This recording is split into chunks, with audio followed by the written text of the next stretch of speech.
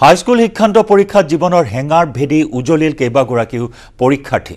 দৰিদ্ৰতা তথা শাৰীৰিক প্ৰতিবন্ধকতাক যেন হাৰ মানিলে তেওঁলোকৰ ধৈৰ্য আৰু একাগ্ৰতাৰ আগত।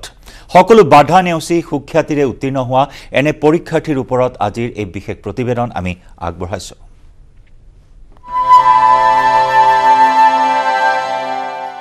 প্ৰত্যাহ্বানকো নেওচি জিলিকি উঠা জুয়ে পৰা সোণ। শাৰীৰিক প্ৰতিবন্ধকতাক প্ৰত্যাহ্বান জনাই ভৰিৰে লিখি হাইস্কুল শিক্ষান্ত পৰীক্ষাত সুখ্যাতিৰে উজলিল সুদীপ্তা ভৌমিক। ঢেকীয়াজুলিৰ বিশেষভাৱে সক্ষম ছাত্ৰী সুদীপ্তা। চিত্ৰ অংকন আৰু নৃত্যত পাৰ্গত সুদীপ্তা ভৌমিক নামৰ বিশেষভাৱে সক্ষম ছাত্ৰীগৰাকীয়ে হাইস্কুল শিক্ষান্ত পৰীক্ষা ভৰিৰে লিখিছিল। চিৰাজুলি উচ্চ ইংৰাজী বিদ্যালয়ৰ পৰীক্ষা কেন্দ্ৰত পৰীক্ষা দিছিল সুদীপ্তাই।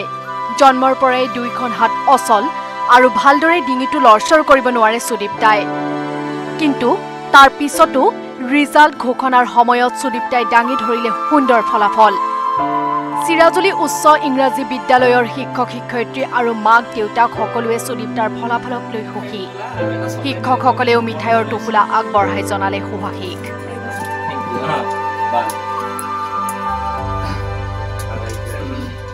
সি একেলগতে পৰীক্ষা দি পেলাই ইমানখিনি নম্বৰ পাই পেলাই ইমানখিনি যে আগবাঢ়িছে সেইকাৰণে মই বহুত আনন্দিত।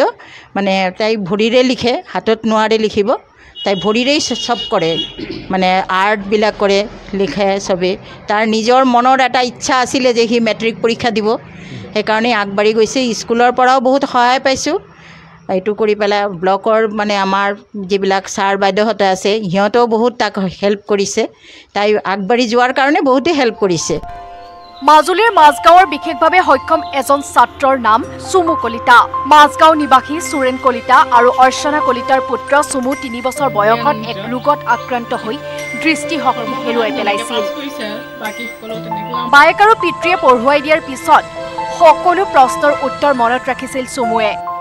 প্ৰতিবন্ধকতাকো নেওচি দ্বিতীয় বিভাগত উত্তীৰ্ণ হ'ল চুমু। সুশান্ত ছাৰে মোক ক্লাছ এইটত থাকোঁতে মোক মাতি লৈ গ'ল। লৈ গৈ মোক পঢ়া কথা ক'লে।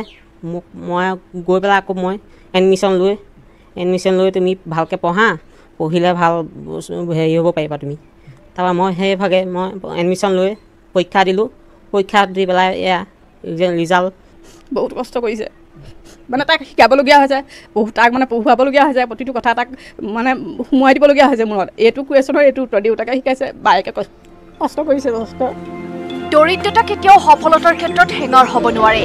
ধৈৰ্য আৰু একাগ্ৰতা থাকিলে জীৱনত সকলো সফল হ'ব পাৰে। এই কথা প্ৰমাণ কৰিলে বিশ্বনাথৰ অৰুণাচল সীমান্তৰ দুগৰাকী ছাত্ৰই। চাকিৰ পোহৰত পঢ়ি আঠসত্তৰ শতাংশ পালে অলংবাৰ বসুমতাৰীয়ে। হাজিৰা কৰি পঢ়াৰ খৰচ উলিওৱা বীৰ সিং বসুমতাৰীয়ে লাভ কৰিলে ছয়সত্তৰ শতাংশ। অলংবাৰ বসুমতাৰীৰ ঘৰ অৰুণাচল সীমান্তৰ সোণাজুলি আৰু বীৰ সিং বসুমতাৰীৰ ঘৰ মইনাউশ্ৰীৰ গাঁৱত পিতৃহাৰা বীৰ সিঙে হাজিৰা কৰি উলিয়াইছিল বহী কলমৰ খৰচ। আনৰ পথাৰত হাজিৰা কৰি উলিওৱা খৰচেৰে মাতৃক ঘৰ চলোৱাত সহায় কৰে।